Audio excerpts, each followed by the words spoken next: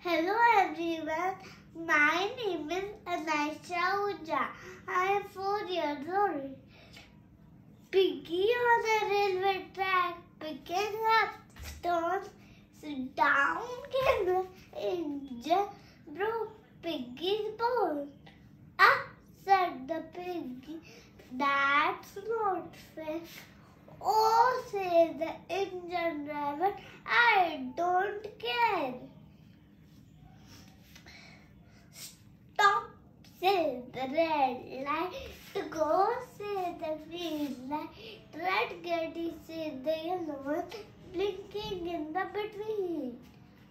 I can choose to be kindness each and every day. I can choose to be kindness to everyone in every way.